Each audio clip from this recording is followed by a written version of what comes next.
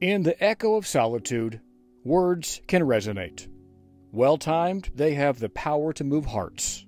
You never know who's who's in need of a kind word. You never know who may be down, and your words, spoken from spoken from a heart of love from God, could be what it takes for them to start turning things around. Recently, several churches and a Prison Fellowship delivered care packages of kindness to Lexington Assessment and Reception Center. The bags contain candy, pen and notepad, and a life giving message. Most importantly, there's a note from DLC volunteers that basically says, in a nutshell, God cares. We just want them to know God cares and hadn't forgotten about them. The timing could not have been any more perfect.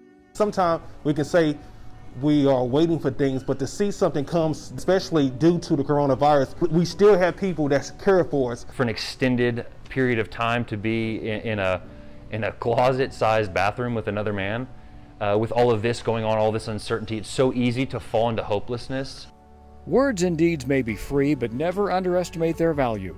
For that, these 930 inmates are giving thanks. To know that there are people that are thinking of us and taking the time to express the love of God is overwhelming. You all are making a major impact inside this prison. Brothers and sisters, your love offering during a time like this was incomprehensibly beautiful. You sacrificed resources just to evoke hope in a prison cell you've never seen for a man you've never met.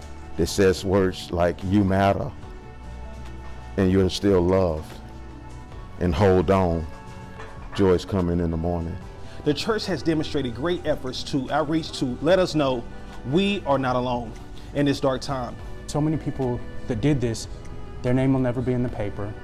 They, they, they didn't do it to, oh, look at me, I, I, I get this plaque, I get this certificate. They simply did it out of love, which is what he calls us to do. It makes us feel like we still matter, and it means everything.